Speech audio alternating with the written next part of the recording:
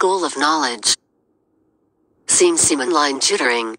Join our online tutoring via Telegram. Inshallah. Your encouraging words can lift someone up and help him or her make it through the day. Your destructive words can cause deep wounds.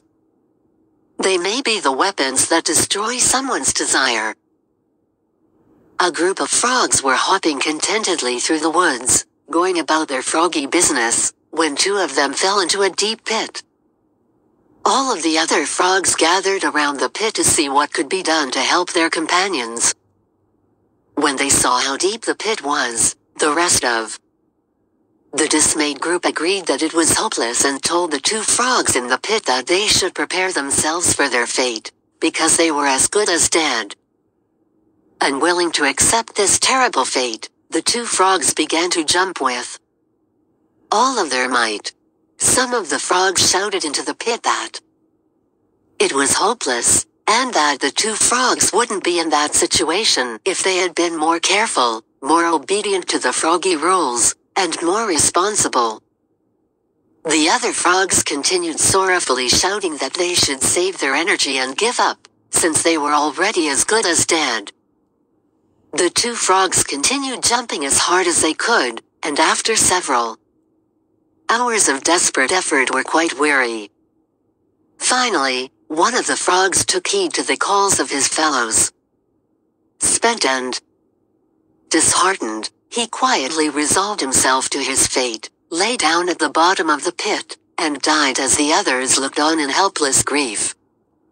The other frog continued to jump with every ounce of energy he had, although his body was racked with pain and he was completely exhausted.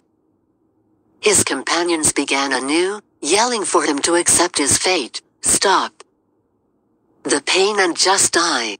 The weary frog jumped harder and harder and, wonder of wonders, finally leapt so high that he sprang from the pit.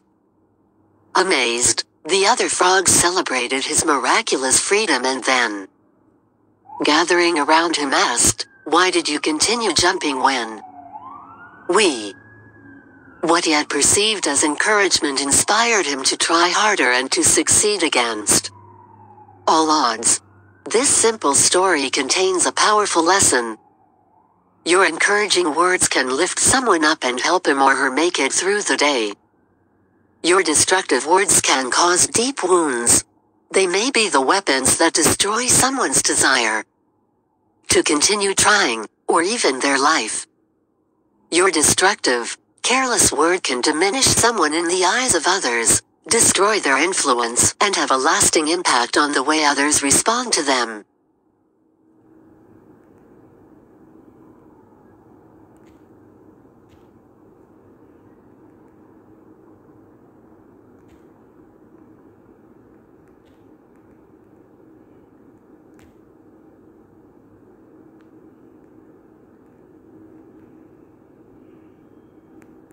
We told you it was impossible?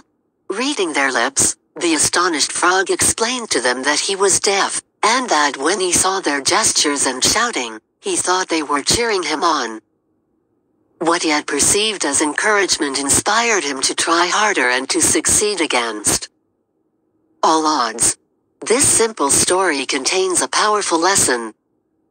Your encouraging words can lift someone up and help him or her make it through the day.